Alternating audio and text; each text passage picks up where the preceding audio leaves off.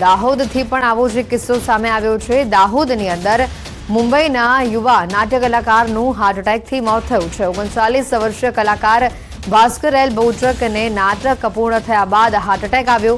દાહોદના એમ્ફી થિયેટરમાં નાટક ભજવતા તેઓ મુંબઈથી આવ્યા હતા. નાટક પૂર્ણ થતાં તેઓને હાર્ટ એટેક આવતા તેઓને હોસ્પિટલ ખસેડવામાં આવ્યા હતા, જ્યાં ફરજ પરના તબીબે તેઓને મૃત જાહેર કર્યા. મૃતકે અનેક નાટકો અને સિરિયલોમાં વિવિધ પાત્રો ભજવ્યા છે.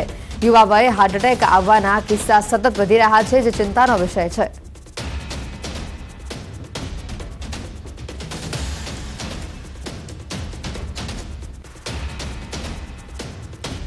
યુવાનોમાં છેલ્લા કેટલાક સમયથી હાર્ટ એટેકના બનાવો સતત વધી રહ્યા છે અને ખાસ કરીને રમત રમતા યુવકોને એટેક આવવાના કિસ્સાઓ સતત વધી રહ્યા છે. રમતા રમતા યુવકનું મોત થઈ રહ્યું છે. થોડા સમય પહેલા હળવદમાં ક્રિકેટ રમતા એક યુવકનું મોત નીપજ્યું હતું અને અગાઉ રાજકોટના રેસકોર્સ ગ્રાઉન્ડમાં ક્રિકેટ રમતા એક યુવકને હાર્ટ એટેક આવ્યો.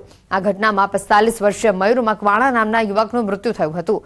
રાજ્યમાં બે મહિનાની અંદર દિવસમાં રમતા રમતા મોતની આ નવમી ઘટના સામે આવી છે. ત્યારે યુવાનોમાં વધતા હાર્ટ એટેકના બનાવો એ મોટો ચિંતાનો વિષય છે.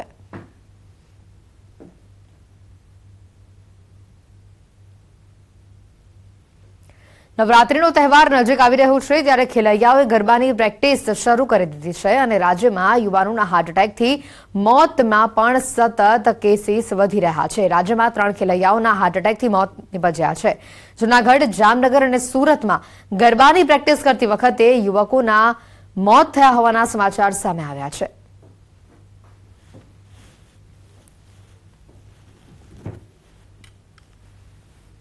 તમામ મૃત્યુ જે તત્કાળ મૃત્યુ થાય છે, એ હાર્ટ એટેક હોય એવું જરૂરી નથી.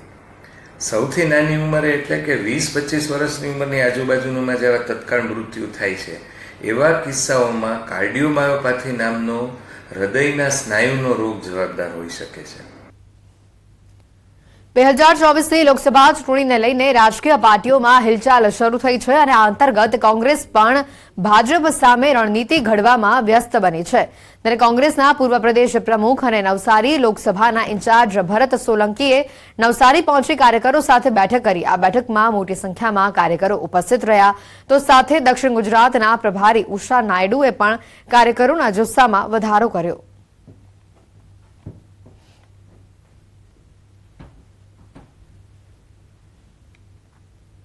અમદાવાદમાં વટવા જીઆઈડીસી વિસ્તારમાં કોથળામાં બાંધેલો મૃતદેહ મળી આવ્યો છે. હત્યા કરી આ મૃતદેહને ત્રિકમપુરા પાટિયા નજીક કોથળામાં બાંધીને ફેંકી દેવામાં આવ્યો હતો. તેવું પ્રાથમિક તારણ હાલ જોવા મળી રહ્યું છે. વટવા જીઆઈડીસી પોલીસે સમગ્ર મામલે વધુ તપાસ હાથ ધરી છે.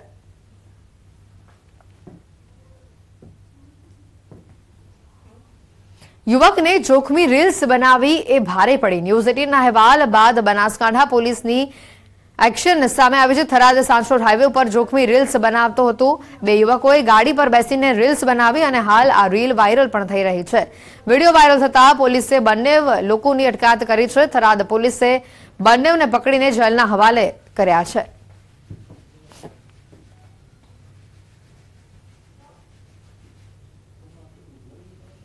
ભરૂચમાં કર્મચારીઓને મીઠી નિંદર મોંઘી પડી. પેટ્રોલ પંપના કર્મચારીઓના ખિસ્સા કપાયા. M Patel and company petrol પંપનો આ બનાવ છે, જ્યાં અજાણ્યો શખ્સ પચાસ હજારની ચોરી કરીને ફરાર થયો છે. ચોરીની ઘટના કેમેરામાં કેદ થઈ છે. પોલીસે સીસીટીવીના આધારે સમગ્ર મામલે તપાસ હાથ ધરી છે.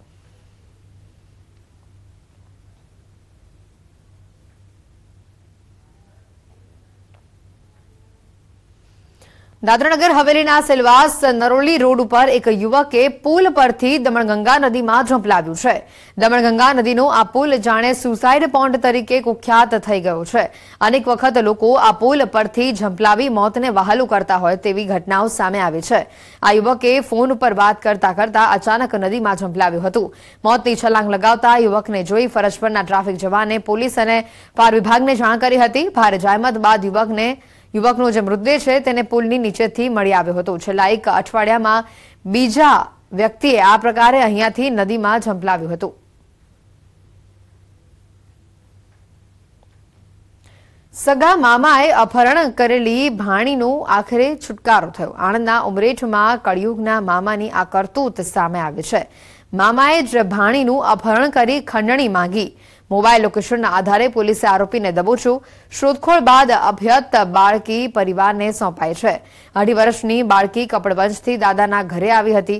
દર્શન કરાવવા લઈ જવાનું કહીને મામાએ ભાણીનું જ અપહરણ કરી નાખ્યું.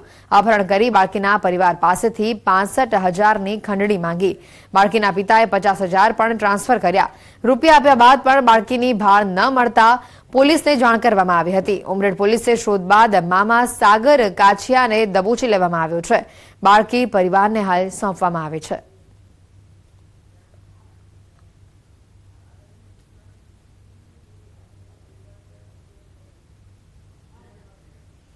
અમદાવાદના નિકોલ વિસ્તારમાં આવેલી સારથી એનએક્સી નામની સ્કીમમાં ચાર બિલ્ડરોની આર્થિક ગુના નિવારણ શાખાએ ધરપકડ કરી છે. એક જ ગ્રુપના ચાર બિલ્ડરોએ અનોખી જ મોડસ ઓપરેન્ડરીથી રૂપિયા છત્તાળીસ લાખની છેતરપિંડી આચરી છે. આરોપી બિલ્ડર્સ જે દુકાન અસ્તિત્વમાં નથી, તે દુકાનના બનાવટી વેચાણ દસ્તાવેજ બનાવી છેતરપિંડી કરતા હતા. પોલીસ હવે તપાસ કરી રહી છે કે અગાઉ પણ આ જ રીતે અન્ય કોઈ મકાન દુકાન ખરીદનારાઓ સાથે આ બિલ્ડરોએ છેતરપિંડી કરી છે કે કેમ? અને તે ધ્યાને આવે તો આર્થિક ગુના નિવારણ શાખાનો સંપર્ક કરી ફરિયાદ નોંધાવી શકે, જેથી વધુ ગુનાઓના ભેદ ઉકેલાઈ શકે.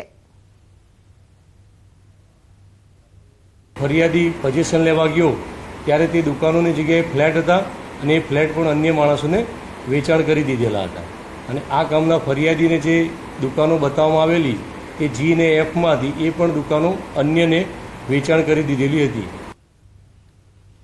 કરોડોની છેતરપિંડીના આરોપીઓ પકડાયા છે. ગીર સોમનાથમાં ફાર્મ હાઉસમાંથી ઝડપાયા છે આરોપીઓ. હિમાચલ પ્રદેશમાં અઢાર કરોડની ક્રિપ્ટોકરન્સીની ઠગાઈ કેસના આરોપીઓ પકડાયા છે.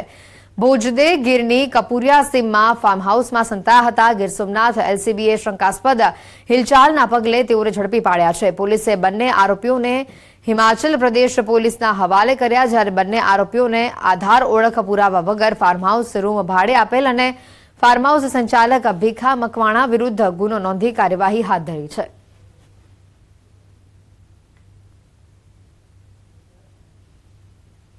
જામનગરની જીજી હોસ્પિટલમાં મહિલા તબીબ અને સિક્યોરિટી આમને સામને થયા. એક્સ આર્મી મેન અને મહિલા તબીબની ગાડી પાર્ક બાબતે બોલાચાલી થઈ. સમગ્ર ઘટનાનો વીડિયો પણ વાયરલ થયો છે.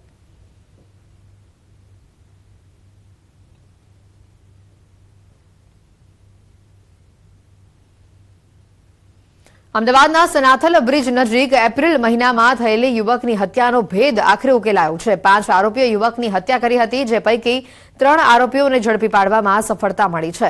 હત્યાના કેસમાં સંડોવાયેલા બે આરોપીઓ હજી પણ પોલીસ પકડથી દૂર છે. એપ્રિલ મહિનામાં સનાથલ બ્રિજ નજીક નગ્ન હાલતમાં યુવકનો મૃતદેહ મળી આવ્યો હતો. મૃતક મૂળ ઉત્તર પ્રદેશનો વતની હતો.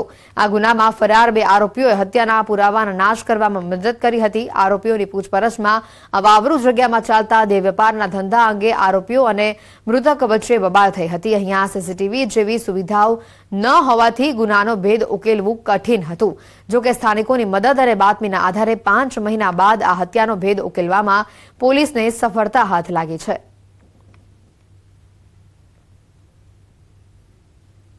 એ વિસ્તારમાં કેટલીક યુવતીઓ ચોરી છુપીથી દેહ વેપારનો વ્યવસાય કરતી હતી અને એ પ્રવૃત્તિ સરળતાથી કરી શકે એટલે આ ગુનાના જે આરોપી છે પાંચે જણા, એમને આડકતરી રૂપે મદદ કરતા હતા.